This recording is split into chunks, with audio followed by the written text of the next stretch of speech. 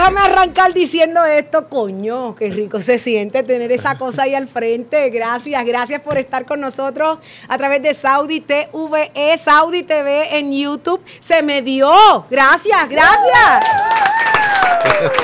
Óyeme, y esos aplausos, eh, lo mejor que tienen es que son reales, no son aplausos grabados, porque este podcast tiene público lo que nos hace especial y diferente, dándole la oportunidad del calor humano a esas figuras que se van a estar sentando aquí con nosotros y de igual forma dándole esa oportunidad a los verdaderos fans de tener cerca a su figura favorita y no solamente los fans. Esta noche promete, porque nuestro invitado me dijo, tráeme 15 haters. Yo dije, pero él es bien bravo, él es bravo en la radio y en Bravo en persona. Así que yo quiero que ustedes me acompañen a recibir con un aplauso brutal a Rocky the Kid.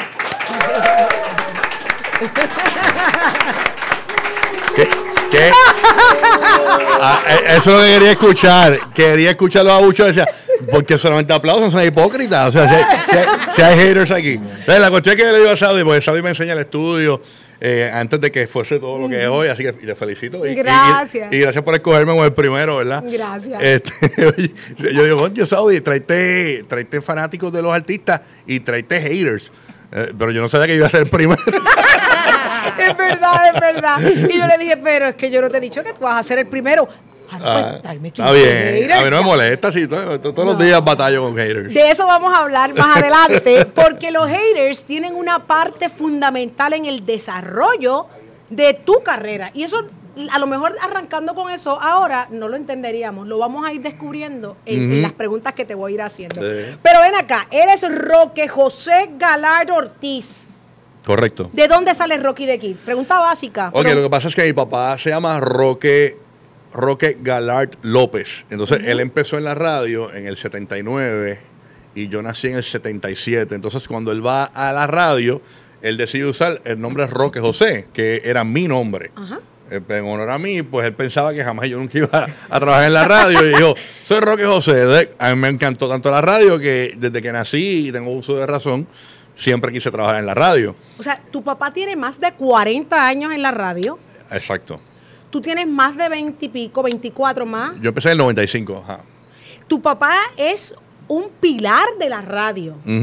y, comenzó eh, hace tantos años y se destacó con, una imagen bien radial, un, un, clásico, una voz muy clásica en la radio, una elegancia brutal. ¿En qué momento tú rompiste el molde? ¿Dónde, se dañó el apellido? Pues nada. ¿En qué momento tú, decidiste romper con, con, esa trayectoria, ¿verdad? Con estilos diferentes. Sí. Pues pero, pero tu papá es otra cosa. Para contestarte la pregunta del nombre, pues eh, para no ser eh, Rocket Jr., me puse a Rocky the Kid.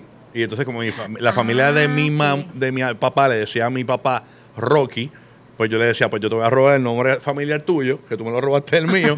pues yo soy Rocky the Kid. En, vez de ser Rocky Jr., pues preferí ser Rocky the Kid. Entonces la gente, ah, pero tú eres de Kid, tú no, tú eres un chamaquito.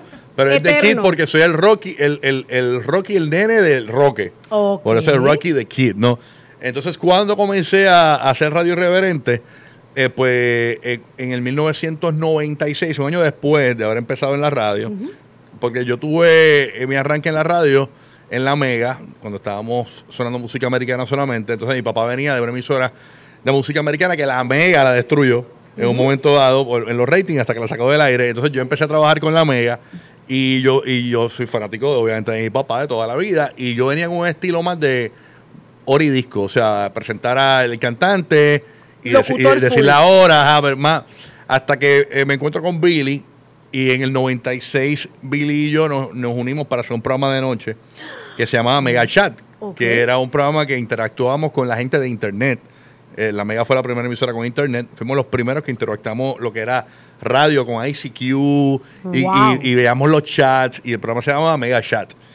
Entonces, eh, pues el programa iba a ser una cosa, pero se convirtió en otra. Y, hacíamos temas irreverentes, hablábamos de satanismo, hablábamos de masturbación. ¿A qué hora? A las a la, era a las 9 de la noche. De 9 a, ¿Qué edad tú tenías? a 12 de la medianoche. Yo, yo estaba saliendo de la, de la escuela superior. Yo, yo- Hablando eh, Sí, de la. Escuela Superior de Masturbación no, yo estaba, yo estaba, wow. satanismo. Yo estaba, no, yo, yo, yo empecé en la Mega en grado 11. Eh, me graduó estando en la Mega y ya cuando me gradué empezó el programa con Billy de masturbación que se llamaba que se llama no lo que era un programa de, de- nosotros hablábamos con satánicos eh, hablábamos con los góticos de plaza que caminaban por plaza hablábamos con toda esa gente a- todas las cosas que no hacían ningún programa de radio lo- teníamos la libertad de hacerlo de noche Ajá. entonces ahí es que yo me convierto en, en el Rocky irreverente de decir cosas locas. Y te gustó. Pues me gustó porque eh, ahora, si lo hago ahora, no tengo excusa. si, si lo hacía en aquel momento, pues me llevaba el regaño, ay, perdón, yo no sabía. Ah, ok. Ahora, pues ya, con la trayectoria que uno tiene, pues ya uno sabe hasta dónde llegar, ¿no? Entonces, ya yo no tengo excusa de decir una barra basada al aire porque no tengo excusa. No, pues ya sabes cuáles se permiten y cuáles no. Exacto. Eres un freak de la radio de muchos aspectos, pero lo vamos a ver. Pero, ¿qué pasó con Roque Papá cuando empezó a escuchar a Aliva hablar de masturbación en la radio que era santificada para él? pues mira, eh, lo irónico, lo que la gente se cree es que mi papá me, me regañaba, me decía consejos. Mi papá en mi vida me ha dicho un consejo. De, de, ¿De radio? De radio, de la, de la vida sí. De radio nunca. Nunca me dijo, mira, hazte esto así. Él, él- sí hemos comentado, eh, eh, por lo menos él me dijo, no, porque hice, hice esto y quedó brutal. O sea, que yo hacía, hacía, pero no es que me, me- me dijo, hazlo. No te o controló. ejecuta, o te escuché, eso no está bien. Nunca, nunca. Mi mamá sí. Que mi mamá venía de escucharme en la radio y yo, y yo recuerdo que yo eh, llegaba a la casa después del programa de radio y mi mamá me, me regañaba. Te hacía un exorcismo en la puerta. Yo le, yo, y sí, te chequeaba los pantalones. era, yo le metí un stop payment. Yo le- porque yo dije, si no paro esto ahora, no lo, nunca lo va a entender. Y, yo dije, no me escuches más. Y no me, y no me, y me voy a meter en mil líos en radio, me voy a meter en mil líos en televisión, posiblemente en algún momento de mi vida. No te preocupes, yo lo manejo. Si yo, si yo lo me metí en el lío, yo voy a salir del. No te preocupes por lo que yo haga en la radio, porque ese es mi trabajo. Y, y desde esa nunca más me ha dicho, me ha dicho más nada. Eh, y me escucha todas las mañanas. Te escucha. Me escucha, Y sí. nunca más te ha vuelto a regañar. Nunca. Qué cool. Nunca, nunca. Y ven acá, Rocky, eh, empezaste bien joven en la radio. ¿Tú tienes preparación académica? ¿Fuiste a la universidad? Sí, yo empecé en la, en la Universidad del Sagrado Corazón a estudiar comunicaciones. Cuando salí de. Obviamente fue bien loco porque eh, yo me colgué en sexto grado. Eh, sí. En Yo me- sexto grado. Yo me colgué en sexto ¿Por grado. qué te colgaste en sexto grado, Rocky? Yo me colgué en sexto grado en, en la clase esta. en es una matemática de estas locas. Álgebra. Ajá, en- yo creo que fue Ni eso. se acuerda. Ajá. Lo En- traumó. Entonces me pusieron en clases de verano. Este, a y, ah, no, embuste, embuste, embuste. Eso, eso fue otro grado que me colgué y cogí clases de verano y, falsifiqué las notas. En, Ah, en- en- en se- en sexto grado yo me colgué y repetí ese grado. De ahí, pues a- el sexto fue, el otro sexto que hice fue brutal. Ajá. El séptimo fue brutal. Eh, octavo fue nítido. En noveno conozco a Tony Banana en la escuela. Y ahí fue que por poco me guindo. Otra vez. Otra vez. Sí, porque el jangueo era muy extremo, cortábamos mucha clase. Entonces me pusieron a coger una clase de, de verano de, de matemática, pero la que yo me había colgado no estaba disponible. Y me pusieron a coger trigonometría, que era peor. Y, y- y- y yo cogí con Tony, me colgué en la clase, saqué un 17.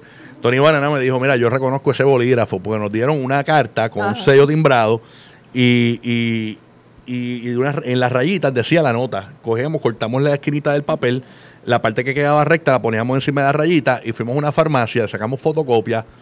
Eh, él, él puso las notas que él quería y en el caso de la, Wow, de la nota mía le puso un palito Ay, con, que Emma con- y, el nene no escuchen y, esto. y- y- y con ese papel yo me mudo de escuela, lo entrego y, falsifiqué las notas y logré pasar. y nunca se enteraron. Pero yo estoy Hasta. Hasta ahora se ponen y no tengan. Entonces, lo, lo otro brutal fue que hago, me, me pongo para mi número de nuevo y hago décimo bien, hago once bien, y en cuarto año ustedes saben que uno se vuelve a, a lo, se va a lo loco. A lo loco. Porque empieza a salir al mediodía, qué sé yo. Y ya, es a rayo, y como yo entré a la escuela de comunicaciones, porque pasa, ya en grado 11 yo estaba en la Mega, era popular en la escuela, yo, mira, a mí nadie me hacía caso hasta que empecé a trabajar en la Mega. Este, y la muchacha que hacía las transcripciones de crédito, eh, me escuchaba la Mega. Eh, entonces, eh, yo me acuerdo que yo también trabajaba simultáneamente en una emisora de Fajardo que se llamaba 96 y yo no, yo no fui a mi graduación de cuarto año, porque a mí no me interesaba, o sea, yo, yo miraba la radio Odia las y me fiestas. y empezaron a llamarme los panas, mira que tú haces ahí o no, que tengo trabajo, qué sé yo. A, a los par de, par de semanas voy a la escuela, busqué la transcripción de crédito, porque me la pidieron en Sagrado. Y la muchacha que escuchaba la mega, que hacía las transcripciones de crédito, me dijo, yo te voy a ayudar. Y me arregló todas las notas. ¿Qué, qué, qué tú dices? Esa muchacha hoy debe tener Ajá. unos sesenta y tantos años, ya debe estar retirada. Sí. Así que, señora, usted Ya tiene que estar tranquila. boda. Bueno, el colegio, el colegio está cerrado, lo acaban de cerrar hace dos años, realmente. ok. La cuestión es que, eh, no, irónicamente, mis dos escuelas, donde yo estudié, excepto la Inmaculada en Santurce, que estudié hasta tercer grado, todas mis escuelas han cerrado. Imagínate por qué. este, La secuela que ha dejado ahí. la cuestión fue que la, la muchacha me arregló las notas, fui a la escuela de comunicaciones y me aceptaron en la escuela de comunicaciones. Y empecé en la Universidad de Sagrado Cora- del Sagrado Corazón. Entonces, a la vez estaba en la mega, estaba en el vacilón de que ¿Ya eras mega DJ? yo era mega 10 de grado 11.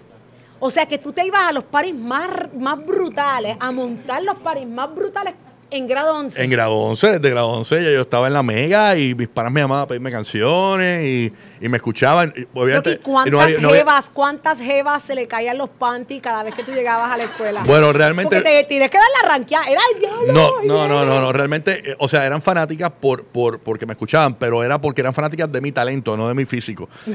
Porque, porque no, yo, yo soy virgen, yo hasta los 20, yo, yo, a los 20 yo perdí la virginidad y fue por un favor, porque después te No, cuento. no, no. Este, sí, sí, sí, fue por un favor. Fue un favor, fue un favor, fue un favor, fue un favor. Cuenta, Rocky, pero cuéntanos ese favorcito, a hacer un paréntesis. Lo, tengo lo que pasa es que en la Mega, eh, como la Mega, antes no había redes sociales. Y realmente la red social original es la radio. Antes de que hubiesen Twitter, MySpace, Facebook, todo lo que. Ajá. Ya nosotros hacíamos redes sociales por la radio. Pero lo que pasa es que era más complicado conectar a una chica, porque ahora tú vas al Instagram y ves las fotos. En la radio era cruzando dedos, ya te llamaban por teléfono y ay, Dios, a ver qué es lo que me encuentro. ¿Qué pa- ¿Cuánto- ¿Cuántas cosas te encontraste fuerte y tú Muchas, muchas, muchas, no, pero hubo una vez que yo, yo tenía un turno, yo, trabajaba lo- en la semana, lunes a jueves, en la noche, y los sábados me daban un- otro turno, que ese era mi turno de, de- de conectar chicas. Mm. Porque en la noche yo más bien lo que hacía era vacilar, y, y- pero no, y me concentraba más porque era mi, mi turno como que oficial, ¿no? Pero los sábados era como que me sentaban ahí pa- pa- porque necesitaban un locutor que, que pareciera lo que era la emisora, para mostrar la, era la vitrina de la emisora.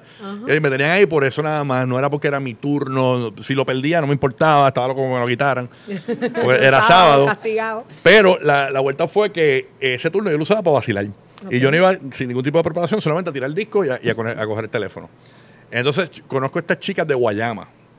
este, y eran como cuatro. Eh, Yo cojo y llamo a todos mis panas de la, de la emisora.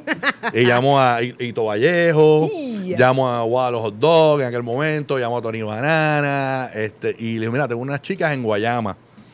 Este, salimos del turno mío a las tres y nos fuimos para Guayama y nos quedamos en un hotel que se llama el Molino Inn. un hotel. Y las conectamos a todas allí, ta, ta, ta. un hotel. Pero no, pero no, no, era como un hotel, eh, pero no, no era motel, no era motel. La cuestión fue que la, eh, nos hicimos panita, no pasó nada así, wow. Pero eh, después yo en otros hangue- en otros jangueos, no, no pasó nada así, fue de panismo, de panismo. En, en otros jangueos eh, sale la conversación, no sé por qué, que yo era virgen. Entonces, eh, una de las chicas ¿A qué de, de ese a los 20 años.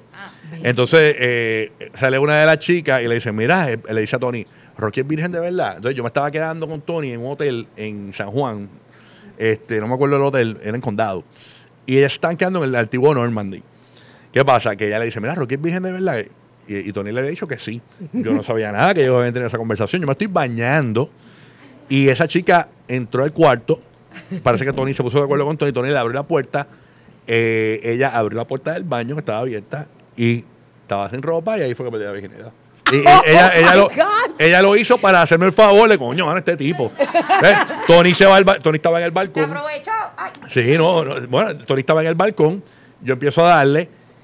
¿Cómo? a, a darle, a darle lo, a darle lo suyo. A, a darle manquenque. Yo empiezo a darle manquenque. Y, la, la cuestión es que yo nunca había hecho nada. Tony está en el balcón, pero Tony escucha cuando dice, "Ya- Rocky, ya. Pues, o sea, cuando yo iba a darle fue como que uno, dos, dos, y ¡fum! se acabó. Sí, yo nunca había hecho nada, 20 años, imagínate. Dios mío, gracias por esa honestidad. Yo imagino que esto, esto Saudi lo pone en los previews de su Instagram. y, y Jessica dirá, wow, qué vergüenza. Qué cool, qué cool, porque la gente piensa, de- de- escuchándote desde tan temprano, irreverente, este tipo se las comía crudas. no, no, no, no, no, no, no era, No no, necesariamente. No tenía buen perreo. Y lo que pasa es que en la mega había mucha gente linda. ¿Sí? Sí, porque estaba, yo competía con Ronnie the Hyper, que era un bonitillo Ah, en aquel bonitillo. momento. Estaba en la mega, era bonitillo.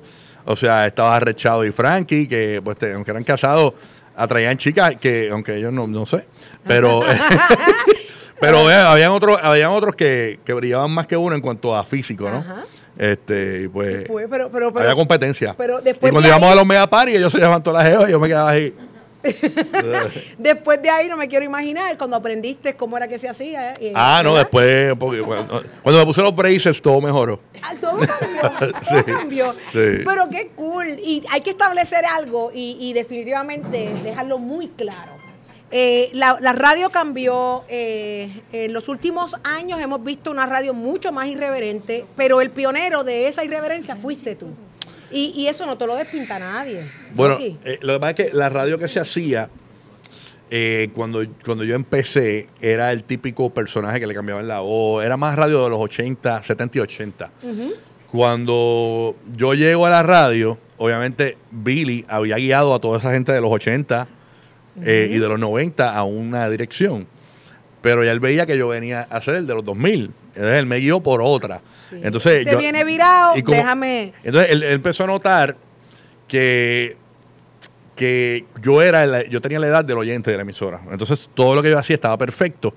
Eso está bien, hazlo así, hazlo así, hazlo así. Y me llevó por otra línea. O sea, y no me enorgullece. Y no me enorgullece porque realmente, lo- no? lo que voy a decir ahora no me enorgullece. Oh. El que empezó el vacilón a, a los artistas, eh, vacilármelos por cosas que hacían en el aire. eh, El bullying. el bullying ese de radio lo empecé yo.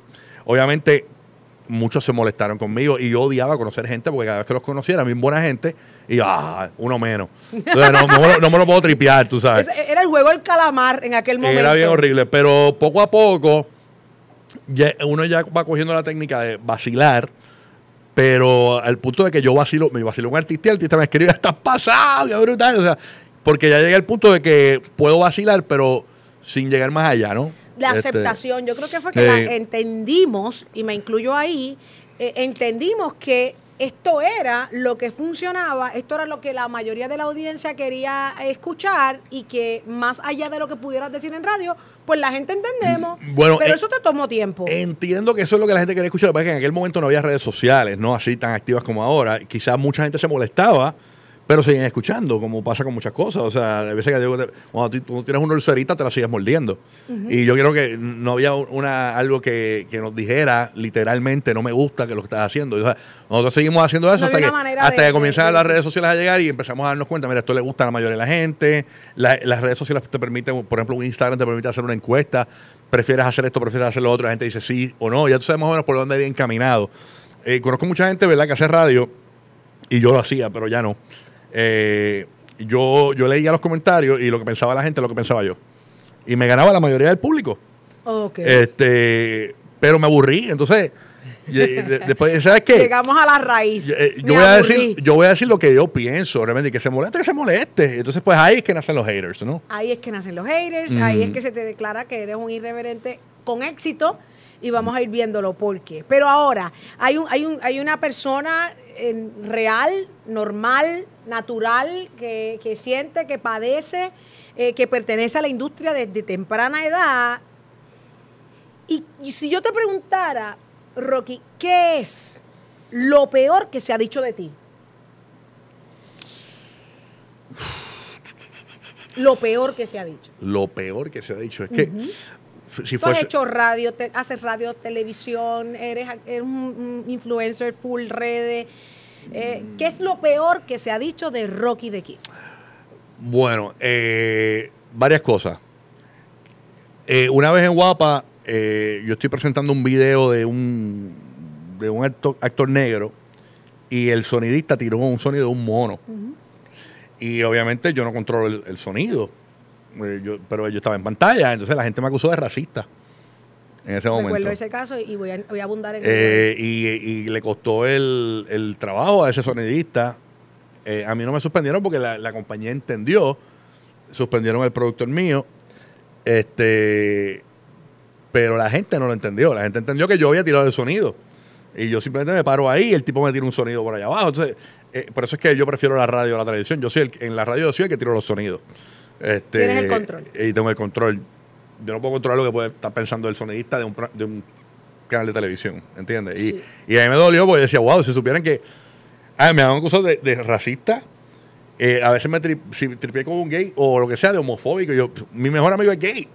Mi mejor amigo es gay. Este, mi, eh, mi mejor amigo es negro.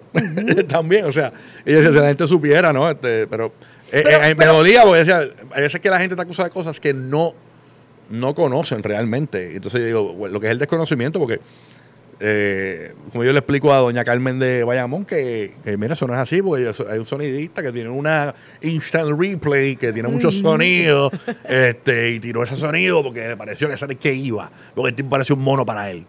¿Entiendes? Entonces yo, eso no es manera de explicarlo, simplemente me quedé callado, no opiné más. En Puerto Rico los chismes mueren a los tres días. Si tú eres artista, te metiste en un lío, escóndete, escóndete tres días, no hables tres días y se acabó el chisme. Qué interesante que lo establezcas porque en esa época, cuando sale esa situación, éramos competencia directa. Eh, y yo tengo que establecer esto porque eh, eh, esto cambió, es- esto fue un, un- un lapso bien fuerte para mí, porque yo soy admiradora de Rocky y de su trabajo toda la vida. Entonces nosotros hablábamos por Twitter y nosotros, em, eh, y yo, tal vez tú no lo recuerdas, pero cuando sale la fiebre de Twitter, eh, Rocky me escribía y vamos a darle, dale, que te voy a dar che para que te lleguen más followers y yo le daba lo mismo. O sea, y, y mis followers en Twitter aumentaron bien brutal cuando Rocky me, me, me daba, yo no sé, yo no uso Twitter ya. Yo tampoco, Este, yo- no, no, eh, ¿Cómo se le llama? No tengo ni Twitter ni Facebook. Retweet, ¿verdad? Ah, Ay, Dios mío, retweet, esa cosa. Estoy bien, bien, bien atrás. Sí. Eh, y él me daba retweet, y, pero y- hacíamos una, una, una amistad chévere a distancia.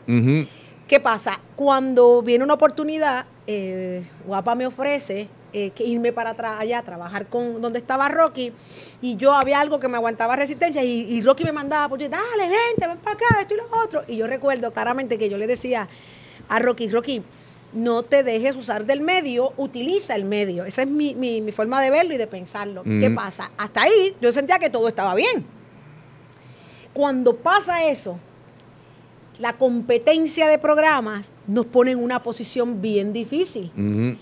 Y poca gente puede saber o entender que las producciones son quienes deciden. Yo creo que tú estás aquí para, para dar fe de lo que yo estoy diciendo. Te entregan, esto es lo que vamos a trabajar hoy, y ese era el tema caliente de ese día. Y fue bien duro venir, ¿verdad?, de unas competencias de allá para acá, con unos ataques que venían de- de- del programa, y nosotros tener la resistencia para aguantar. Y cuando pasa eso, lo ven como la oportunidad de darle duro a la figura fuerte del otro lado. Entonces se convirtió en algo bien difícil para mí, Ujú. y te escucho decirlo ahora, y, y yo digo que, que debió haber sido fu- fuerte para tú ver compañeros de la industria eh, atacando, señalando, destacando ese momento como una falla. Y fue bien duro. Qué bueno que tengo la oportunidad de hablarlo. Sí, Esto no. hemos compartido, hemos viajado y nunca lo habíamos hablado. Sí, que- yo, pero yo, yo a mí eso a mí no me afecta de- si venía de ustedes o venía. O sea, y lo que sí es que el- es cruel el medio. El medio. este, Es cruel. Y, y- y de las cosas mm, buenas, malas que sé hacer en la radio, es que si yo tengo que ganarte destruyendo tu imagen, la voy a hacer. Y, lo- no, y no- no es que lo voy a hacer, lo puedo hacer. Ahora mismo no lo haría. Este, pero yo vengo de una radio bien competitiva desde los 90, que hacíamos, cada, ganábamos una encuesta y cogíamos otra emisora, partíamos en dos. y, la, y la hacíamos quedar mal, a la, a la X le decíamos lo- los lechones, este, porque la X quedaba, la, la emisora la X, X100, eh, eh, la emisora está es construida eh, donde era una lechonera antes. Y entonces nosotros le decíamos la lechonera, que si los lechones esto y los lechones lo otro. Y, y- y en esa batalla, pues nosotros aprendimos a que mano, esta es la manera de ganar. Se vale todo. Y, y era tan fácil ganar porque nadie- la- a las otras emisoras no le permitían eso y nosotros tenemos toda la libertad del mundo. Entonces, al, al que me contrataba a mí, sabían que yo era un tipo que me tenías que permitir libertad para ganar. Y tú me dabas libertad a mí y yo llegué a la televisión y me para. Yo, bueno, yo estuve en, en la oficina de Joe Ramos semanal, como si fuese una escuela high school. Enfocado, Me regañaban todos los días, esto no es radio, esto no es radio. Entonces tuve que bajar. Y lo que yo entendía que era un chiste bien cómico eh, en televisión era bien fuerte, porque no es lo mismo hacer un chiste en la radio que un chiste en la televisión. Yo un chiste en la, en la, en la televisión tipo radio, se quería caer eso, llamaban al canal, que, que falta de respeto. Entonces, y poco a poco fue adaptándome, ¿no? Y, y, y- Pero y a- reconoce a que la, televisión no te encanta, tú lo has dicho públicamente. No, no, no, no, me encanta. La- las veces que he hecho televisión ha sido por favores este y por dinero. Realmente no he, nunca he, he decidido, quiero hacer un programa que tenga esto. Eh, sí, no te puedo negar que en el momento que lo estoy haciendo me lo estoy disfrutando. Porque si no, no, no se notaría, ¿no? Pero no es que ahora mismo no tengo nada de televisión. Y si voy a hacer algo de televisión, que ya Albert Rodríguez me dio toda la libertad para trabajar donde yo quiera, si volviera a hacer algo en televisión sería una vez a la semana Sí, sí, una vez a la semana, diario. porque televisión diaria es matar, y tú lo Es sabes. fuerte, Sí, es fuerte, es fuerte, es fuerte. Eso es, es matador, es matador. Mm. Pero de igual forma, yo también eh, cogía ataques y cogía fuetazos de allá para acá que yo lloraba y me dolía. O sea, vamos a dejar eso establecido y claro. De que lloraba, Perdón, perdón. me dolía. eh, él buscaba la manera de cómo, cómo meterme la- yo en la yoga. Eh, tengo una anécdota que contarte y te, te- te pondría el sonido. Una de mis empleadas me dice que tú vas a tener a quién. Ese cabrón. Mira, yo voy para allá y te lo voy a matar. Y yo, pero. ¿por qué, Malula? Y me dice, es un cabrón, Malu. Vale, las cosas cambiaron. No, yo me acuerdo. Escúchate esto.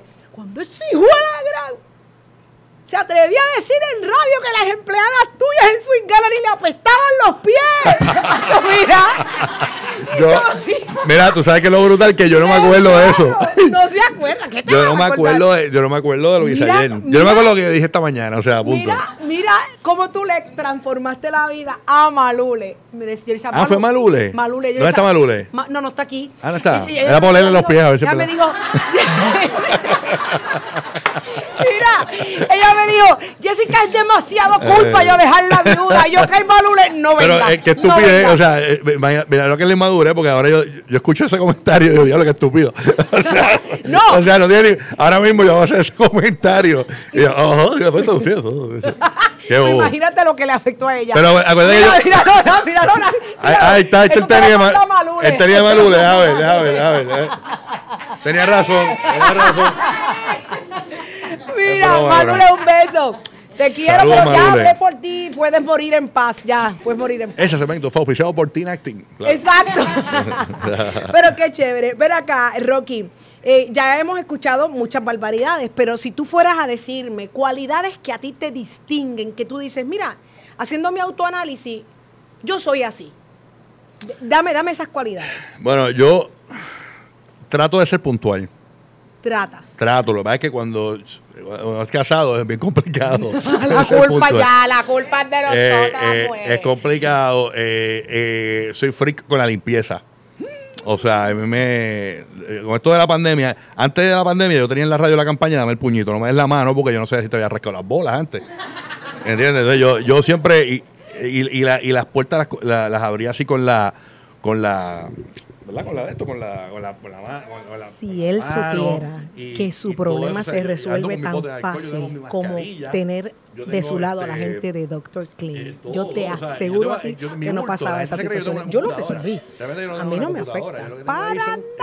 Porque la gente de. Dr. Clean lo hace por mí. pues, que lo hagan por ti. Mira, apunta el número ahí, la- la tarde anterior, yo limpio cosas, lavaba, limpio los 787-4445-5079. micrófonos, limpio Dr. el micrófono Clean. Yo te he visto, yo te he visto llegar. Yo te he visto llegar con tu botella donde quiera que vas. Sí, no, y tú, tú has viajado conmigo, tú me has visto.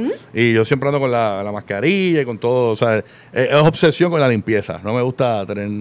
E- e- eres un germ, eh, el término me lo dio César. César, germ, germophobic. Ah, ok. Eso, Existe eso- un término. Ah, pues mira, estoy enfermo. Entonces, e- eres eh, un eh, fóbico de los gérmenes. Sí. Pero algo, algo particular que te llevó a desarrollar eso, Rocky. Mm, lo- el perreo. En aquel momento, te explico, lo que pasa es. Demasiada intensidad. Lo que es- Infecciones. no, lo que pasa es que cuando yo, viví, cuando yo vivía solo, yo hacía housekeeping de mi cuarto porque yo no sabía si iba a llegar con una jeva. y yo dejaba todo nítido, ti- nítido, nítido, nítido. O sea, todo limpiecito, o, eh, siempre cositas de olor y todo, siempre. eh, y entonces me, me acostumbré a eso, igual el carro, dejarlo, aunque esté sucio por fuera, pero dejarlo limpiecito por dentro, yo no sabía. Pero, eh, y me acostumbré a eso. y- Pero es como un OCD, ¿no?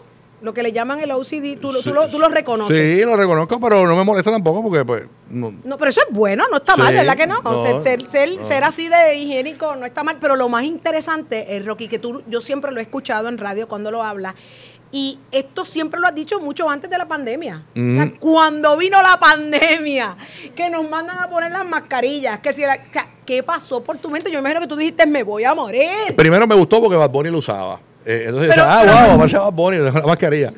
Pero la, la realidad es que, como yo no tengo que usar, usar la mascarilla todo el tiempo por mi tipo de trabajo, ¿no? Yo, yo uso la mascarilla eh, desde que entro por la puerta de la, de la emisora hasta que llego a la- al estudio de radio, me la quito, me la pongo cuando me salgo y cuando salgo del edificio me la quito otra vez. Yo no, yo sé que mucha gente se las ha visto negras con la mascarilla, de trabajar 8 horas, 10 horas con la mascarilla está bien, bien brutal.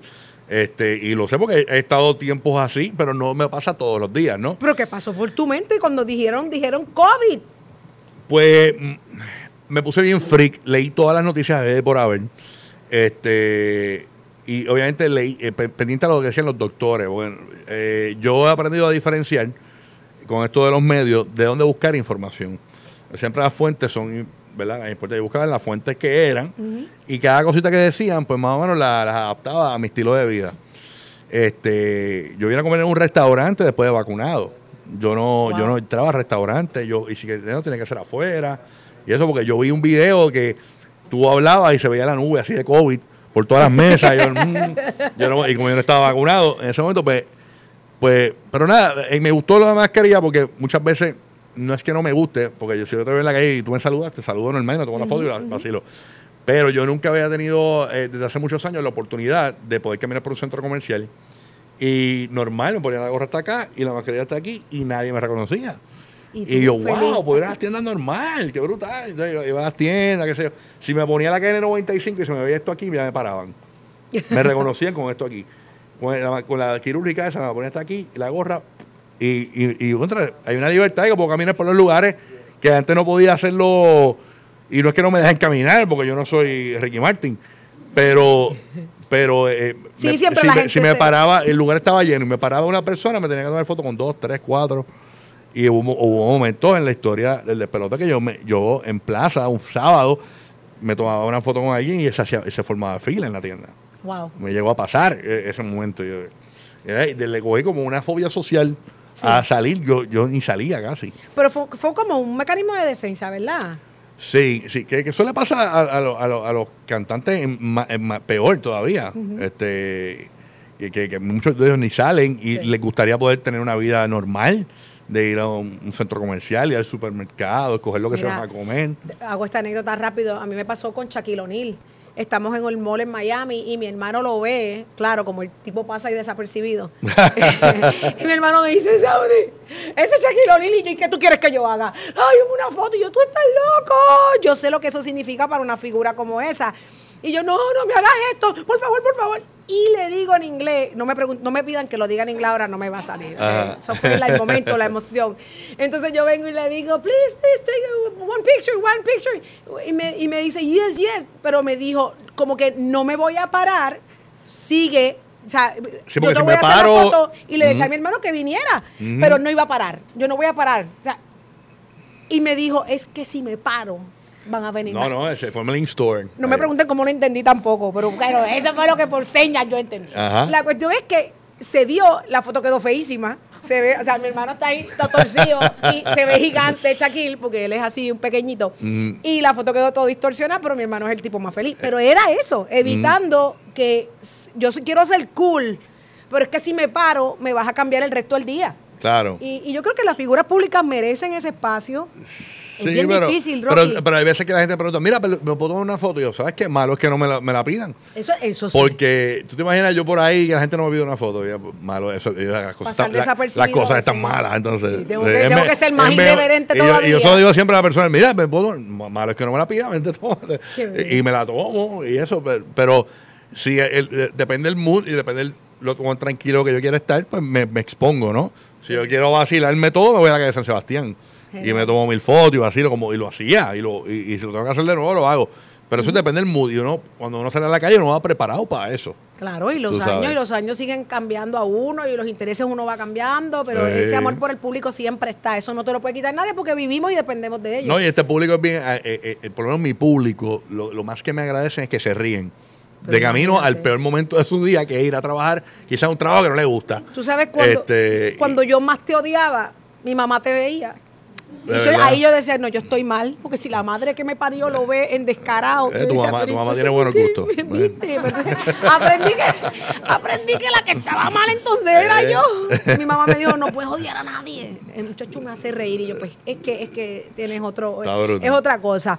Eh, eh, Rocky, pero, ok, eso eres un control freak de la limpieza, pero ¿cómo es Rocky? Rocky, Rocky es simpático, obviamente, fuera del aire y dentro del aire. Eh, ¿Eres amoroso?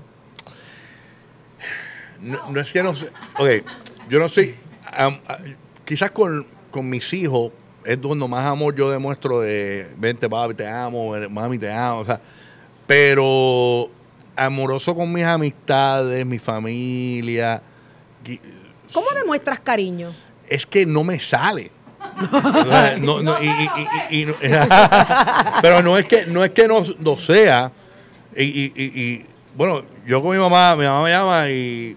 Pero es que mi familia es igual, o sea, dime, sí, ok, chévere, ok, Seco, ok, eres seco. igual. Eh, eh, a veces, si estoy solo, te amo también, pero, pero decirlo así, como que me da este, como esta vergüencita. Este, pero no es que no lo sea, porque, óyeme, yo quiero a mi gente.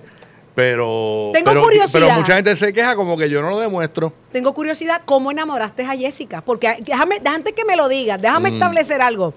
Jessica y yo somos amigas de años. O sea, Jessica tiene una niña de, 20 de 19 años que es Carolina. Dios la cuide. Y yo tengo una de 19 que es Valeria. Y Jessica y yo nos rozábamos las pipas. O sea, a ese nivel era como que, uy, no podemos más con estas pipas. A ese nivel, o sea, que conozco a Jessica hace 20 años atrás. Y yo conozco muy bien a Jessica.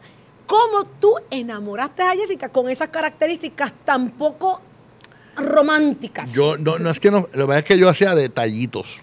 ¿Cuáles? Eh, eh, yo creo que el, el detalle que más le gustó a Jessica fue una vez, y es una estupidez, pero realmente Jessica eh, era una mujer soltera eh, y ella, yo, yo noté que ella no tenía líquido de los wipers. Y yo le dejé un líquido de los wipers en el escritorio. Eso fue una de las cosas más románticas que yo hice. Pero ella, tú se lo preguntas, ella, Jessica. ella- y yo le dejé la botella en el escritorio. De- porque ella, y, y ella lo aprecia eso realmente. Ella, le- ella le gustó ese detalle, le gustó ese detalle. Eh, yo, y, y yo creo que fue más con, con, con detalle y, y con hacernos reír. Yo creo que con el vacilón y la risa y eso, tú sabes. Este, ¿Qué provocó risa allá abajo? Que está, que está- Huevo sin sal. Huevo sin sal. huevo sin Huevo. sal, Rocky. Rocky, huevo sin sal, pero Pero es que Jessica, por ejemplo, Jessica y yo no celebramos San Valentín. Los, Para, porque para. los- los- los dos decidimos que no lo íbamos a celebrar nunca, porque ella es como yo, es como que eh, eh, tú, tú demuestras amor todos los días eh, y, y lo que se siente tú lo de- deberías demostrar todos los días. Pero y, cuando y San le Valentín no lo celebramos. cuando le diste la estucada aparte del, del líquido de wiper, eh, que tú dijiste, ya, cayó. Esta No, jeva". eh, eh, yo usé la técnica esa, Dios mío, que técnica horrible ya. este, yo, hubo un momento que yo, yo le tiraba a Jessica y Jessica me, me- no me hacía caso. Entonces yo dije, Trabajaban juntos. Ajá, y, y yo empecé a irme del, pues, del programa de televisión y trabajamos juntos. Yo empecé a irme sin despedir. Yo- bueno, yo, eh, yo tenía que ir, para yo salir del programa de televisión, regularmente yo iba a una reunión a las 7 de la noche, que era la que terminaba el programa, y yo lo que empecé a hacer es que, que Jessica se iba para la reunión y como a mí no me iban a decir nada, porque yo no tenía gran participación, porque me- me- yo tenía un productor que me ayudaba con todas las cosas y yo creaba lo mío al, al otro día instantáneamente, eh, yo cogía y salía del estudio, chum, me montaba en mi carro y me iba. Ni me despedía, Y yo creo que. el difícil. Ah, me- haciéndome el difícil. Esa, esa cosa- es una estrategia que. funcionó. Sí, eso estaba en el manual en aquel momento y funcionaba. Ah, No sé cómo si funcionaría ahora. Porque ahora las mujeres están, ok, no me has quedado chévere, bye. Bye, No, next, no sé si va a funcionar hoy día, pero no. Qué bien, te hiciste, te hiciste. Me dice como que el importante, qué sé yo qué y ahí entonces ella se volteó y dijo. Ella dijo, espérate, espérate, o es ahora o es... Porque te pregunto esto porque yo cuando vi que Jessica, la que yo conocía, se enamoró de Rocky de Kid, yo dije, No, y ella me odiaba. Si Ella yo te odiaba. yo Eh. dije, es que Dios te ha dado la cruz. Ella no me Ella va a pagar, tú vas a pagar las que me has hecho porque yo la conozco. Jessica es una mujer Ella no, de me, ella no me soportaba. Jessica Eh, es de carácter igual que yo. ella no me soportaba. Incluso ella, la primera vez que yo conozco a Jessica fue que Saudi era su jefa y le envió a hacerme una entrevista a mí porque yo había tenido un bebé. En TV aquí. Eh, entonces, ¿qué pasa? Que, que ella fue con una expectativa de me toca entrevistar a este pendejo, pero cuando sale de la entrevista, según me cuenta ella, no sé si es verdad, que ella fue, ay, mira, el bebé Rocky es bien chulo, ay, qué chévere Rocky. Y de ahí quedó. Eh, la volví a ver después cuando empecé en Guapa. De años las cosas después, cool después. que Rocky no daba entrevistas, Rocky no había querido presentar a su hijo y a mí me lo presentó y me diste esa exclusiva. ¿no? Igual que aquí, porque yo no hago entrevistas. O sea, yo, la última entrevista que hice fue con una con Molusco. Este, pero yo hago entrevistas con gente que. Y no, oye, y, y sin, sin menospreciar lo que me han ofrecido hacerme entrevistas. Este, pero si yo no me siento cómodo con la persona o, o no tengo una anécdota del Gracias. pasado que contar con la persona. O sea, yo, yo he viajado con Saudi, la conozco hace años, o sea, yo, podemos contar anécdotas.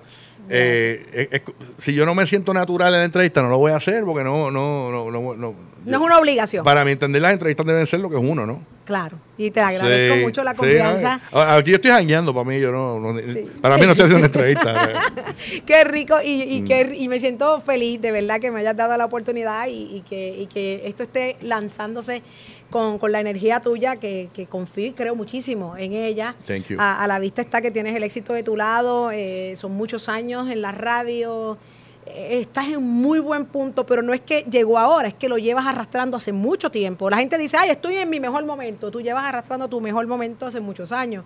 Y eso hay que reconocerlo, eh, eh, Rocky, eso es bien bonito dentro de nuestra industria, una industria difícil, que eso más adelante quiero que, que me lo digas, cómo la describes, pero ahora quiero saber, ¿en qué momento te diste cuenta que los haters eran necesarios y aprendiste a, a, trepártela encima al, al toro, a- lo agarraste por los cuernos y hoy por hoy esos haters no, no te tocan.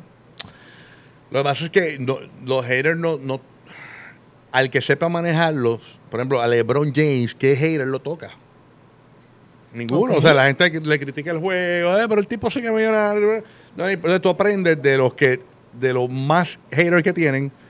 eh, y obviamente sí hay cosas que al principio cuando empezaron los haters, tú dices, ¿qué carajo es esto? Pero poco a poco, por ejemplo, a mí, a mí me han hecho como cinco boicots. Y, y- Oye, y un boicot en este país, Sí, señores, y- hay que decirle usted y tenga, porque cuando la gente se encabresta, Ajá, y no, y, yo, y, me han hecho cinco boicots y salí ileso del boicot que le hicieron a la comedia Mega TV. Porque yo, yo, yo estaba al lado de la. eso- pero eso no fue a mí. Yo decía, si esto me toca a mí, me toca a la radio. Entonces yo, yo estaba al lado de la Comay con la, con la gente manifestándose al frente del edificio. Yo y, estaba allí. y yo decía, ¿cómo? Yo salí ileso. O sea, yo, yo, ay, mira, a, a mí una vez me hicieron un boicot las mujeres eh, lactantes, creo que fue una cosa así. la- qué barbaridad dijiste. Ahora, eh, no me acuerdo, fue un chiste tan bobo eh, para mi entender en aquel momento. No sé, ahora no- no- ni me acuerdo. O sea, no- no- y, y se, y, y se pararon en el frente y dije, "Ah, diablo, aquí me van a... Pero después descubrí que, obviamente, con el favor de la compañía, la compañía de nosotros es una compañía que tú le puedes hacer un boicot a cualquiera de la compañía y la compañía te va a apoyar. Tienen otra, otra, Porque ellos, otra vienen filosofía. eh, ellos no vienen de radio de Puerto Rico, ellos vienen de radio de Estados Unidos. Ya le han hecho mil boicots en Los Ángeles, le han hecho boicot en Chicago, le han hecho boicot a Luis Jiménez en Nueva York. Ellos están acostumbrados a eso. O sea, estos son unos profesionales ignorando boicots. Incluso cuando a mí me, cuando a mí me hacen boicot, siempre me escribe Jesús Sala, eh, Rocky, te apoyamos siempre, estamos contigo. y tú dices, estoy ready. Y yo, ok. Me dice, cuando los jefes míos están conmigo, a mí no me importa. Por eso es que yo he aprendido, si tú eres un hater y dices algo, no me va a afectar porque yo tengo una compañía que me vaquea. Ok. ¿Entiendes? Y obviamente tenemos una fidelidad también. Yo soy fundador de la compañía. Eh, en los momentos difíciles de la compañía yo he estado para ellos, he estado para mí. O sea, que realmente cuento con ese vaqueo y, y tengo esta seguridad de que un hater no me puede hacer mucho un eh, con, una opinión o con un boicot. En un momento dado llegaste a cerrar tus redes, ¿verdad? Sí, pero yo la cerré pero no por los haters. ¿No? ¿Y por No, qué yo la cerré porque cuando yo empecé en Guapa, a mí me regañaban por cualquier cosa que subía en las redes. Y yo estaba cansado de subir a la oficina. Y, subir a, y- y- regaños, y subir a la oficina, y subir a la oficina yo Ramos. Y dije, una vez más que me llame, no voy a decirle más nada a nadie. Una vez más que me llame, efectivamente me llamaron, salí de la oficina yo Ramos, mismo pasillo de Guapa, pum, pum, pum, cerré todas las redes. Estuve tres años en redes O sea, que te sociales. reclamaban eh, lo que subías Un meme, un chiste de un talento, eh, el vacilón que yo siempre hacía. Es tratando de eh, controlar y- y el animal que lleva adentro. Entonces yo decidí, mira de esto que brutal. Yo decidí cerrar mis redes sociales. Cierro las redes sociales y las próximas dos encuestas de radio que llegaron, ahí me convertí en el personaje número uno de la radio, 18 a, 20 a 54 años y nunca más bajé. o sea que la... Que las redes, la- la- yo dije, voy a- yo me voy a quedar con las redes y, la, y que mi, si la gente que quiera saber de mí, que me escuchan por la radio y que me vean por la televisión. Entonces me hice inaccesible. Yo cogí y yo, yo, yo había visto una entrevista que le habían hecho a, no sé, algo de Ricky Martin, algo de Edgar García, que una de las cosas que hablaban era que cuando tú querías llenar un concierto de un artista, tú le decías a ese artista, no salgas a plaza, no te exhibas, no te, co- no, que la gente no te vea para darle más más emoción. y yo creyéndome Ricky Martin, ¿sabes qué? como, como ya me estaban parando mucho, no solo los jóvenes, las viejitas, por lo guapas. Después yo decía, doñi, yo lo que hice fue crear un estilo de vida que era ir a trabajar a la radio, no salir a ningún lugar, a menos que sean lugares escondiditos, selectivos, familiares y con amistades chiquitos. Pero yo, yo no fui a plaza por dos años y medio. Eh, Yo no fui a, a los centros comerciales, yo no iba a supermercados. Y si iba, iba de madrugada, a los de 24 horas, cogía lo que me iba a llevar y me iba. Y, y la gente no sabía de mí a menos que fuera por la pantalla. Yo parecía un artista esto eh, internacional inac- inaccesible. Y la encuesta sin redes fue cuando mejor me fue en encuesta. Bueno, no O sea, cuando mejor, ahora nos ha ido mejor. Pero en aquel momento me vino muy bien, porque yo nunca había sido número uno así tan, tan brutal. tú sabes. Genial, pero ven acá, Rocky, no dejas de ser un ser humano, no dejan de doler las ofensas. Cuando uno a veces lee, uno dice, coño, Mm. se fueron lejos. ¿Alguna ofensa que de verdad te haya tocado el corazón que tú digas, "Mm, esto me dolió? Ese día estabas ovulando y dijiste, "Mm". ese, Mira. día, ese día te dolió. Ah, De verdad, de verdad no me acuerdo. Pero está brutal porque hay veces que han pasado situaciones. eh, yo estando casado con Jessica y Jessica se vuelve un 8. Menos- Y- es y- menos tolerante. Y, y- no es, un- es que se moleste, pero ¿por qué dice esto? Oye, eh, yo estoy normal haciendo barbecue. Y, y mira, ¿viste lo que escribieron? No me digas nada de lo que escribieron porque yo no me importa. O sea. Yo vivo mi vida normal. O sea, yo, eh, yo- los fines de semana yo no toco el teléfono. Si ustedes se dan cuenta, yo no subo noticias los fines de semana porque yo ni, ni estoy pendiente del teléfono los fines de semana. Entonces, ese es mi tiempo de estar tranquilo. ¿eh? Cuando escriben algo de mí en las redes yo, y, viene alguien y me lo dice, ¿no? ¿para qué me lo-? es como estaba hablando Burbu los otros días. Cuando alguien te dice una amistad, mira lo que escribió este de ti. Ese es peor que el que lo escribió, porque eso es como que... Es como, como una inyección ajá, muy como que, cercana. Dale, sembrado cizaña. No, no me interesa. O sea, Sí. yo, eh, a, a veces Jessica se preocupa más por mí que yo por mí. A mí no me importa lo que escriben en mi red porque yo acepté ser una figura pública y yo sé que las redes sociales son así. Yo empecé con el vacilón en las redes, vacilarme a todo el mundo. Así que si se me vacilan a mí, pues que me vacilen a mí, ¿qué voy a hacer? Ok. No, eso- no, ese- no me, no me- de verdad que no. Si es por redes, no me afecta. Nos dicen, hay que echar cuero duro, porque Ajá. tú tienes. sí. No, no, no. De verdad que no. Ni, ni recuerdo. Bueno, Eres un sapo Si, de cuero fuese duro. algo que yo te diera, que tú me, para contestarte la pregunta, si, que fue el momento que me afectó. Si, si no me acuerdo, es porque no me afectó. Qué bien. Y, y como no me acuerdo de ninguno, no te puedo decir así, pues no, no me afectó tanto, estoy bien. Yo creo que es que lo superaste todo, no dejaste que penetraran, eso tienes muy claro cómo, Sí, cómo y, manejarla. y sí he contestado a la gente, le contesto a veces a la gente pero es por diversión, es por ver cómo. Oye, la- pero deja regalo de eh, eh, cumpleaños. eh, es por ver que la gente se. cómo se pica. Yo, ay, eso estoy aburrido. Eh, pero, Cuando estamos- Ajá. cuando estás aburrido. Pero ahora mismo en mis redes sociales no tienen ni comentarios, porque no tengo tiempo para atender a la a- Pero tú- a- a vamos a, ser honestos ahí, porque tú dijiste, digo, hemos sido muy honestos en toda la conversación, Mm. pero esta vez dijiste de cumpleaños, me voy a regalar, bloquear todos los comentarios. Bueno, lo que pasa es que eh, la- la- las redes sociales es un trabajo para mí. Claro. es un trabajo. Entonces, ¿qué pasa? tiempo. Yo tengo productos que cuidar. Yo pongo, por ejemplo, un auspiciador y si yo pongo una compañía de, eh, de carros, viene aquel y dice la transmisión es mala.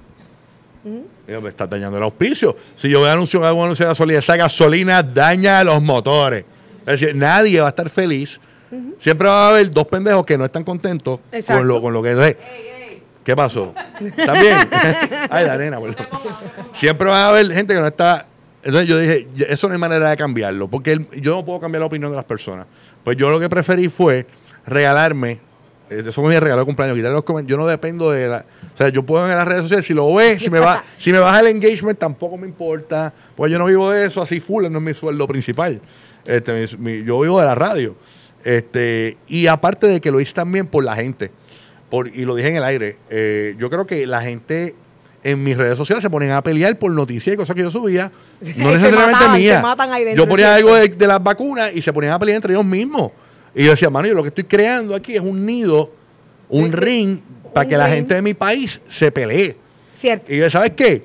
Ese es mi granito de arena para quizás evitarte un dolor de cabeza, evitarte un problema. Sí, no, y hay Este, gente que le interesa Y muchísimo. hay gente que se pone a pelear ahí y, a mí, y, y ver la gente peleando. Yo, es de las cosas que más yo odio. ver la- la las gente discusiones. peleando. Tú Ah. no peleas. ¿Ah? Tú no peleas. No, yo- a la gente le molesta que tú no peleo. Qué bien. Yo no, qué yo, bueno. no, yo no peleo. me lo dice y me ah. Vamos a hablar de- del medio, este Rocky. eh, eh, eh, vivimos en- y lo describimos, a lo mejor coincidimos, es un medio cruel. La- la- los medios masivos, permanecer en ellos requiere de, de mucha defensa, de sobreprotección de uno mismo para poder prevalecer y mantenerse vigente en, en el medio. Tú eres un tipo de radio y tú llevas la vida entera en radio. Eh, amigos en los medios, ¿tienes? Sí, sí, sí. Y mucho, mucho, mucho, mucho. La verdad es que eh, con el pasar de los años yo he aprendido a, di- a diferenciar quiénes son los amigos de verdad. Ok. Este, ¿Enemigos? Sí, tengo. eh, no enemigos. No, no, no, no, no quiero decir enemigos. Pero sé a quién tratar de lejito. Aprendiste. Ajá. eh, Comenzaron yo- siendo tus amigos y terminaron siendo hoy personas que trabajan de que están ahí, pero no. Como los conozco tanto, y, eh, y, y la vuelta es que yo no. Yo siempre le he dicho, yo soy amigo de todo el mundo. Y ponle que yo soy amigo de Saudi y viene una, otra persona del medio y no la soporta. Pero no va- eso no va a quitar que yo sea amigo de Saudi. Qué Y Saudi bien. puede tener sus malas mañas y yo tengo que aceptarla como es. Yo siempre he pensado que la, nadie puede cambiar las personas. O sea, tú tienes que aceptar las personas como son. Yo he tenido amigos en estos medios que la- nadie los soporta y son mis panas. Y me llaman y todo. Y yo sé que nadie los soporta. Eh, pero yo sé hasta dónde llega también. Porque ya yo sé lo que me han dicho. O sea, pero tampoco le- lo rechazo porque la- esa persona es así. Yo no quiero. Si todo el mundo se pone a cambiar a todas las personas, el mundo. Tú, tienes que aceptar el de al lado. O sea, tú, tú, tú aceptas este micrófono que es negro porque no hay más ninguno. Eh, es lo mismo que tienes que aceptar quizás esa persona eh, que está al lado tuyo porque trabaja contigo, porque no hay más ninguno. Tienes que vivir con eso. Entonces tienes que aprender a, a vivir con las diferencias de opiniones y con las diferencias de gusto y de, de- de todo en general. No puedes cambiar a la gente. Contra chocar aquí, dame puñito, porque Sí. así es que yo pienso, eh, nosotros no podemos vivir de los prejuicios. Y yo No, creo no. fielmente en eso, en que porque a ti te caiga mal, a mí no me tiene que caer mal. Dame la oportunidad de conocerlo. Lo que te hizo a ti no me lo ha hecho a mí. Así que yo no tengo por qué juzgarlo. En eso coincidimos. No, y yo, yo conozco 300. eh, jefe, no lo puedo mencionar, pero eh, eh, por- yo, hay un jefe específicamente de, de los, de los viejos tiempos que todo el mundo me la peste de él. Diablo, ese tipo, o sea. Y los otros días estaba hablando con un compañero de, de la radio y me estaba hablando, ah, ese tipo es un cabrón. Y yo le dije, mano, yo, yo sé que todo el mundo habla, pero nunca he tenido un problema con ese tipo, mano. Genial. Es que el cada- tipo siempre cada me ha tratado, pero brutal. Pero pues, pues, es que es así, tú sabes. no, no eres dueño de las experiencias Ajá, ajenas. Tú, tú tú tienes tus propias experiencias y tú creas tus propias opiniones. Y eso me gusta y así tiene que ser. Coño. y, difícil y- es esa y mierda. tratar de no, o sea, si te cae mal la persona, eh, yo no ando divulgando este cabrón, hizo esto, este tipo, porque realmente eso es bien lógico, eso, eso tú lo vas aprendiendo con, la, con el, con el pasar de los años. Ay, quizás. no lo digas con la edad. No, Porque sí, mucho he aprendido a Porque de 45. jóvenes uno comete mil, mil bestialidades, te pones a hablar, si tú hablas peste de alguien, eh, le estás tratando de demostrar que tú podrías hablar peste de esa misma persona, o sea, tú simplemente pues Al margen, mira, pues. Escuchar y no hablar, Ajá, no contestar. sí, sí, sí. Eh, Rocky, placeres en la vida, placeres de tu vida, que tú dices, esto para mí es un placer. Hacho, el tres leches, los cupcakes de Saudi, el cinnamon roll que Saudi aquí. Es postrero Yo soy hasta postrero. de- eres dulcero. Oye, Sí, este hombre viaja eh, eh, a lugares y él tiene un wish list de sitios donde él quiere ir a comer, a probar. Y es de los que lo probó, se satisfizo y se acabó. Sí, sí, soy catador de pancakes, también me gustan los pancakes. Me Este- llevo este ofreciendo es unos bueno, pancakes este de malo. calabaza hace mil años. Sí, sí. eh, pero otro de los placeres que me gusta es el silencio. Yo no puedo bregar con el me silencio. encanta el silencio de yo estar. Y no tiene que ser todo el día, es un ratito de silencio. Eh, y estar tranquilo. La, pa- paz, yo creo que es uno de los placeres más brutales. Wow, eso está, eso está interesante porque Sí. estás rodeado de gente, estás haciendo radio, estás bregando con música, es con ruido Pero constante. yo saco mi momento, aunque sea en el carro, me quedo un rato y tranquilo, tú sabes, y, y busco mis momentos del día de silencio. Rocky, Sí. el minuto que cambió tu vida. Wow, me cogiste ahí. Minuto que cambió mi vida. Ajá. La muerte de Billy. La Sí. muerte de Billy era a las seis y pico de la tarde cuando me llamaron y me dijeron que ella no estaba. Eso ella se había ido. Sí, porque yo venía de un. Billy era mi. Era mi manager de la vida. Entonces llegó el momento de, de ese destete. Este, cuando yo pensé que. yo dije, wow, ¿qué yo voy a hacer sin Billy? ¿Cómo yo me voy a defender? ¿Cómo yo voy a hacer esto? ¿Cómo yo voy a hacer esto solo? Entonces, yo tuve una conversación con Billy antes de. eh, él estando en el hospital. Solos. Exacto. Y yo le dije a Billy. eh, no, porque él estaba por teléfono. Él estaba en el hospital, estaba por teléfono. Y yo le dije a Billy, Billy. Como yo creo que eso de la muerte física es lo que ocurre, y fine, pero lo, el resto de la vida continúa. Yo le dije a Billy, yo sé que tú vas a estar. Úsame a mí, úsame, métete dentro de mí para hacer todo lo positivo que tú quieras hacer. Amén. Este, y mano, eso pasó porque hay veces que yo hago cosas en la radio, tiro un efecto, digo un comentario, eh, Y sientes que lo hubiese hecho y, él. y- y yo digo, eso no lo hice yo, o sea, o eso es algo que hubiese hecho Billy. Entonces hay cosas que para mí eran bien difíciles antes, que ahora yo las hago como si fu- fuese Billy que lo hubiese hecho. Confianza. Este, en, en- en cuanto a aconsejar a la gente, también eh, me pongo a aconsejar a la gente alrededor y yo, wow, ¿de dónde salió eso? Eh, hoy mismo eh, te, te le quería- te le iba a comentar, la, verdad que la perdí, pero hoy me pasó algo.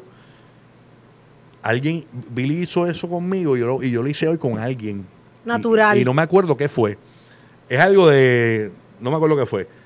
Y yo decía, y cuando venía en el carro hablando, wow, yo, yo, esto que yo hice ahora, Billy lo hizo conmigo y yo lo acabo de hacer con otra persona. Lo y, y- extrañas, y no estaba en mí. Oh, todos los días. Todos los Todos los días. días, todos los días. De, de verdad me, me hace mucha falta. Y, y siempre que, que hago algo o voy a un lugar, digo, bueno, Billy hubiese hecho esto. Cuando empezó la pandemia, yo decía, ya lo Billy era bien freak también de esto. Billy hubiese estado bien loco con esto de la pandemia, Ajá. tres mascarillas. Pero he aprendido a, a vivir con él dentro de mí. Y de esto, todo lo que él me enseñó lo, lo tengo ahí y, y siento que está conmigo ahí todo el tiempo, porque yo me muevo y, y- y ejecuto como él. Está ahí. Rocky, eh, nosotros tenemos público. Eh, la gente quiere preguntar, pero a través de las redes sociales, una vez yo dije que te íbamos a tener en este primer video podcast, algunas mandaron eh, re- co- re- preguntas que hubiesen querido hacerte. Y esta es Winnet Emil de Ponce. Esta joven es una fan tuya. Oh, sí. Ella iba a llegar aquí, eh, se le complicó y no pudo llegar. Ella pregunta, ¿cómo puedes ser tan sincero y no permitir que la opinión de los demás te afecte? Bueno, eh, lo que pasa es que yo creo que hay gente que realmente aprecia la sinceridad. Claro. Entonces, eh, ah, no todo puede ser. Y hay otros que le encanta que le mientan, Yo- son felices yo- exacto. No pero- cojones, la- Yo no, yo no puedo decir, o sea, yo, yo, yo trabajo para los que aprecian la sinceridad. Y hay gente que trabaja para la masa en general. Este, y yo nunca abandono a ese público. Yo siempre digo, bueno, yo voy a decir las cosas como yo soy, esta es mi opinión. Y como siempre, cuando voy a decir mi opinión, yo, yo respeto la tuya, esta es la mía. Ok. Este, y manejar, yo creo que la contesté. O sea, básicamente eh, fue como, eh, como cuando uno un soldado va a entrenar. No, tampoco fue como que nací con eso, fue como los cantazos. Es cuando tú coges los callos de la vida y con los callos, pues ya hay cosas que. eh, tú puedes decir lo que sea, pero no, me, Ok. impor- no me va a importar. No te va a importar. me va a importar. Raúl Gascot dice eh, lo siguiente aquí. ¿Consideras a Molusco parte de la competencia radial o existe animosidad? No, no, no, no, no. Yo creo que sí hubo competencia en un momento dado. Este, Pero yo creo que ahora mismo, ahora mismo, al momento de esta entrevista, no existe la competencia porque es que lo que, lo que yo haga no, no, no lo afecta a él y lo que él haga no me afecta a mí. Mm, Porque ni siquiera competimos en el mismo horario. Eh, sí, eh, eh, Molusco, eh, mucha gente puede interpretar que es mi competencia, eh, pero el Molusco quizás es, es más, es más duro en redes sociales y yo quizás soy más duro en televisión, quizás es más duro eh, conectando gente y yo soy más duro en ignorarlos. Hay algo que- hay- este, la verdad es que, Molu- Molu- la verdad es que Molu- yo respeto mucho el trabajo de Molusco, pero Molusco es un freak del trabajo. y, y yo entiendo que, que quiera trabajar y ganar todo el dinero que quiera ganar y todo, pero hay, hay un momento de vivir. Yo no trabajo sábado y domingo. Muy bien. Y aun- aunque me gane menos. me- Hay algo, hay algo, hay algo que sí tuvieron en común. tie- eh, Es que la Bulbo es, un- es una figura interesante entre ustedes dos. Sí. No, no, Burbu para mí ha sido. La verdad es que yo conozco a Burbu antes que Molusco. Ok. Yo estudié, Estudiaron- con, yo estudié con Burbu desde séptimo grado. Eh, la verdad es que en radio no habíamos trabajado juntos, pero. Burbu y yo en, desde séptimo grado compartíamos y era un vacilón. Este, y es de Fajardo, yo, yo viví en Fajardo desde los 10 años. Este, la conozco desde siempre. No, para mí hacer radio con Burbu es tan fácil como hacer esta entrevista contigo. O sea, te conozco hace tiempo y nunca eh, tuve este miedo de diatra, viene, a hacer, viene Burbu, acá.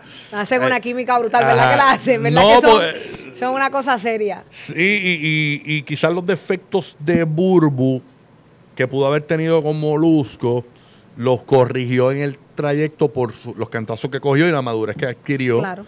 Eh, y todos los grandes defectos de Burbu son sus mejores atributos y lo más que a la gente le gusta. Claro. O sea, cuando la gente, cuando Burbu llega tarde, se explica por qué llegó tarde. Este, eh, por ejemplo, los otros días Burbu este, teníamos, eh, bueno, teníamos un programa, el programa de radio normal y Burbu, y Burbu llegó guapa por la mañana. y, y llegó tarde ese día porque ella, ella- ella- ella- ¿Qué te dijo, Manuel? a Arranqué pa' guapa. ya me fui para guapa, para guapa, o sea. Este, pero Burbu es así, es despistada y eso es lo que a la gente le gusta. Yo- Chulísima también. Como yo sé que eso es lo que a la gente le gusta, no me molesta, me vacilo y voy preparado mentalmente para el nuevo despiste de Burbu. Para algo, algo va a llegar. Hoy subió un story que, que, eh, que llevaba, cin- llevaba- ya había dado cinco vueltas buscando su carro en un estacionamiento. No. O sea, se le olvidó donde dejó el carro. Un- un- tuvo la, la guagua de Burbu estuvo dos semanas, tres semanas en el parking de guagua porque perdió la llave y no tiene más ninguna. Estas son interioridades. O sea, eh, interioridades. hay que uno. quererla así, ¿no? Y pues, yo, Genial, yo creo que yo creo que la empresa sigue siendo la ganadora, tiene Mm. extraordinarios recursos tanto contigo con Bulbo con Molusco en diferentes horarios, eh, donde quiera que la pusieron o, o que esté es una, una Sí. ficha ganadora para ambas partes, así que eso eso quedó no, y claro. yo no veo la, como yo te dije, o sea, la 94 y la Mega no son emisoras diferentes, es una sola compañía, o sea, Sí. para mí eh, pero, pero, eh, pero tienen que un- competir, tienen que sacarse chispa para que la gente Lo- sienta allá afuera. Lo que pasa es que te no es que yo no me muero ni siquiera. eh, Esa es una de las cosas que yo creo que ha sido lo mejor que me ha pasado este año. es- y es que yo no vivo compitiendo ya. Ya, bueno, Ya yo no, no compito y no es que compitiendo con nadie. O sea, porque la competencia como es una de las cosas horribles de los medios que eh, le jode la mente a la gente. Sí, o sea, es duro, eh, es ¿Sabes qué, mano? El día que esté segundo, la compañía no me va a votar porque va a ganar el circo. ¿Me entiendes? O sea, eh, si tienes el 1 y el 2, el día que esté séptimo, pues me preocupo. Me voy retirando. Genial. Tú sabes. Otra pregunta de Chef Rey Santa. ¿Cómo haces para comer tanto y no engordar? Esa la quiero saber yo también. No, yo creo que es el metabolismo, el metabolismo y obviamente no comer de noche. Yo no como de noche porque eh, no es que no me guste, pero muchas comidas me caen mal de noche. Entonces decidí como que, ay, y el refresco casi lo eliminé. Qué bien. Este, y no y yo no bebo. Me estoy me veo so- social.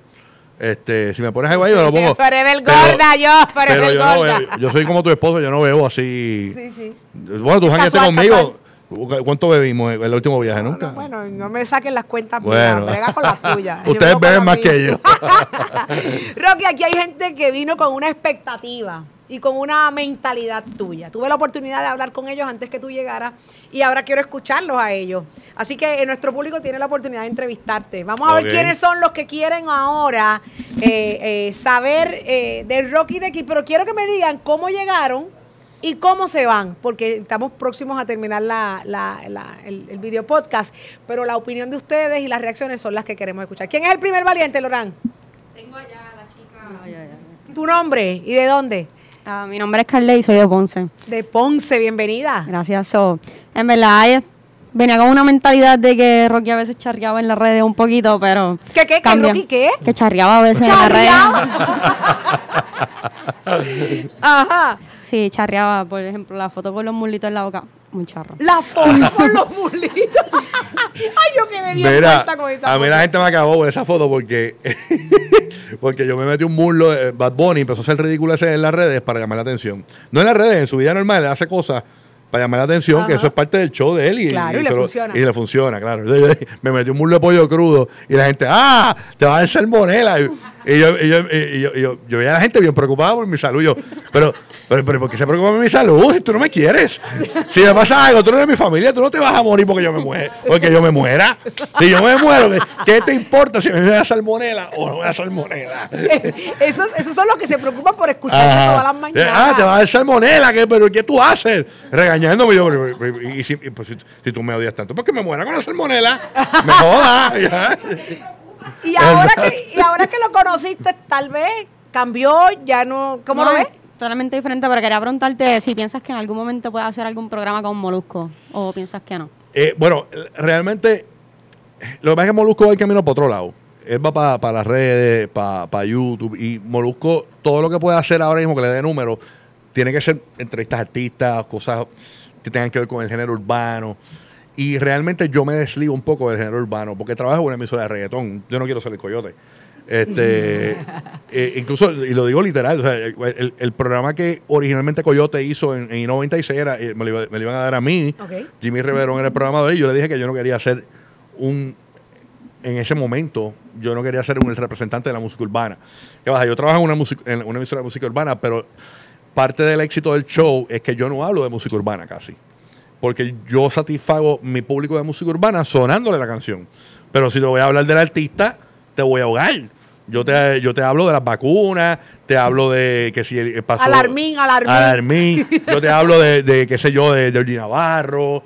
Eh, te hablo de cosas que le gusta a Tú un, le a un público. la vida al resto del universo, digo, No, coño. no, pero hablo de las cosas populares que le importan a toda la, la gente y a y los que les gusta el reggaetón me van a seguir escuchando, aunque quizás no hable de, todo de reggaetón, Pero le porque que le soné una canción Le de reggaetón. sononeo. Yo tengo que hacer un balance, ¿no? No todo puede ser reggaetón y música urbana. Y en, eh, contestándote la pregunta, no lo, yo hice las películas con, yo creo que lo que hice con Molusco ya lo hice. No, no, yo, el camino que él, él quiere coger es uno que es muy bueno, y ese es el de que decidió, pero el mío es más vago en cuanto a, a que no, no, no quiero trabajar tanto.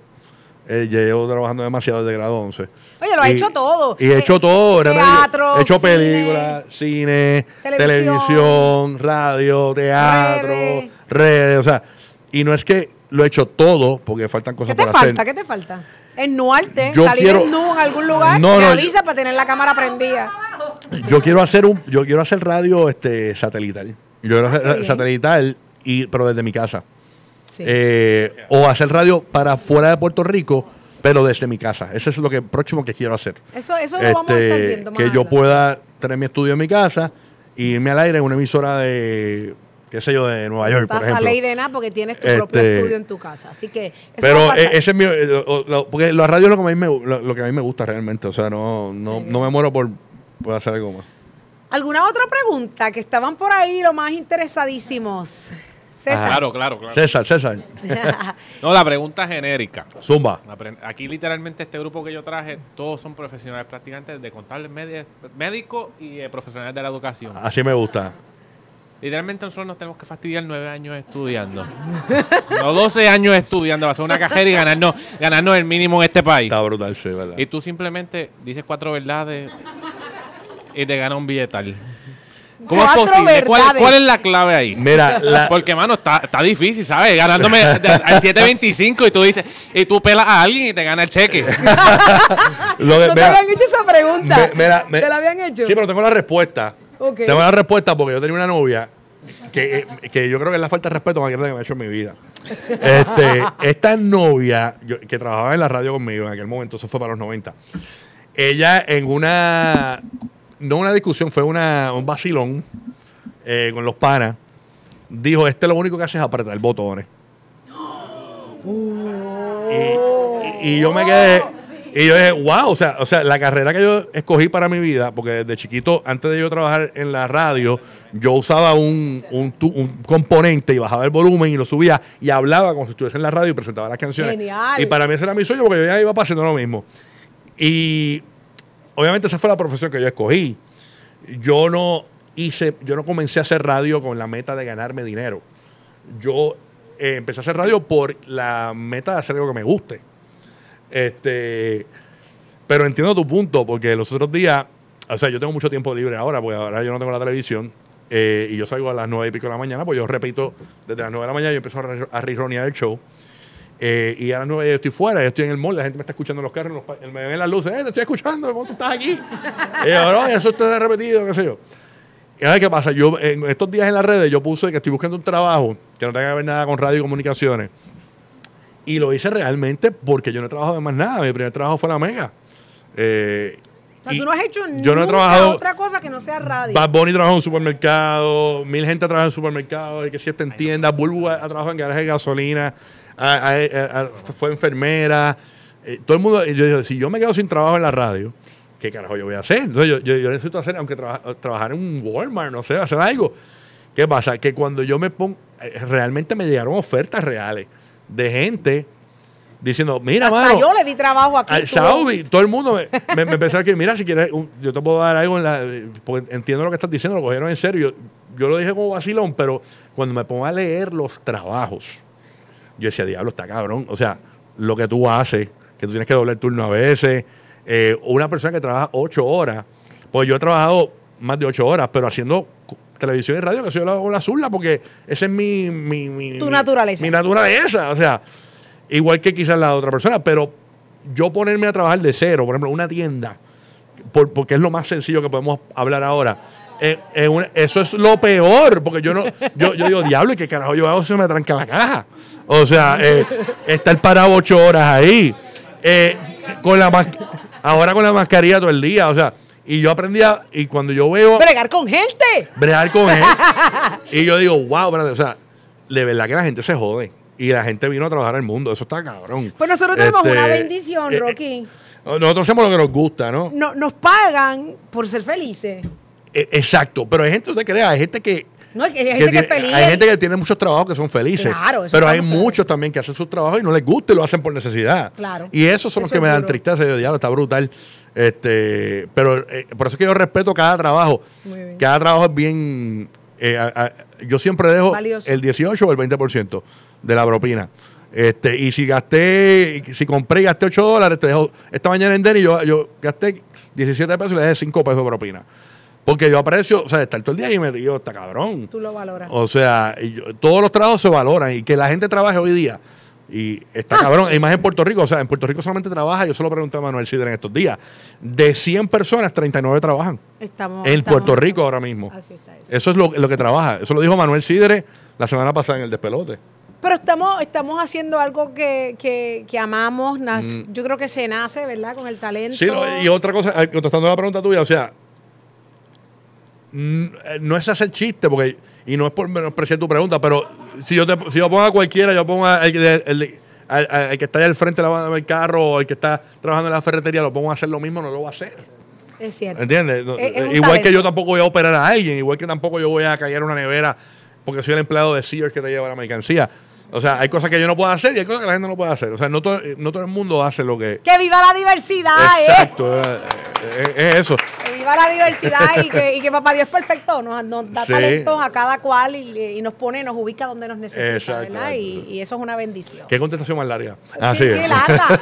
Esto es- llevamos tres podcasts para que usted lo sepa, tres videos. Es que a mí me gusta la mierda. no, no, ha estado buenísimo. Queda una más. Ah, ¿Cuántas quedan? El señor director, ¿cuánto me queda? ¿Estamos ahí? ¿Estamos, ahí. over? ¿Cuánto hemos hecho? 1.15. Ah, no, está bien, está bien. Tenemos, Está bien, está tenemos, bien, porque está está quedando buenísimo. Eh, una pregunta más, vamos a ver. Ajá. Guía.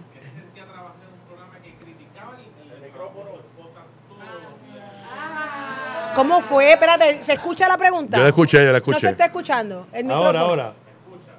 Ahora sí. Espérate, dame abrir el micrófono aquí.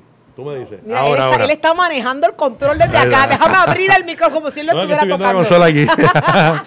Imagínense la conexión. Vuelve a la- vamos a hacer la pregunta. ¿Qué se sentía llegar todos los días a un estudio de trabajo que prácticamente se dedicaba más que a destruir el programa donde trabajaba tu esposa? Que todos los días tenías que verla después de salir del programa y tenerle que ver la cara de lechuga de que hoy te esbaraté en el programa. No, pero es que lo que pasa es que te voy a explicar, ahí es que está la magia. Eh, mira, yo me, yo me zafé de un montón de cosas. La verdad es que yo aprendí. eh, eh, te, te refieres al programa de la Comay, ¿no? Claramente. Este, hay veces que la Comay bas- eh, criticaba a mis amigos. Incluso una vez, yo estoy, Saudi estaba en, yo lo conté en una, otra, en una entrevista con Molusco. Saudi estaba en casa y al otro día la Comay la quemó. Y estuvo eh, eh, entonces, ¿cómo no sabía nada? Digo, la Comay no sabía, la Comay no sabía nada. Yo, estoy, yo, yo, yo- la Comay habla, pero ya, lo bueno es que Cobo, en ese aspecto, tampoco me forzaba a mi opinión. Eh, o sea que yo no, si yo no opi- quería opinar, no opinaba. Eh, yo era bien libre en eso. Entonces yo he, he hablado y hacía así. Eh, como él sabía, pues no me, no me preguntaba mucho, no me hacía abundar. Yo, y yo. y me quedaba así, o bajaba el micrófono y la Comay tiraba brrr, y la gente le encantaba. E incluso llamaban a las líneas y decían, wow, como, como, como muy bien por Rocky que la Comay destruyó a Saudi, pero Rocky no habló. Muy bien, Rocky. Así, y la gente me felicitaba porque como yo no me metía en, en- Pero ese... era, era difícil. era Eh, difícil. pero, eh, pero aprendí a brearlo. O sea, no era. Y obviamente me dieron el espacio, ¿no?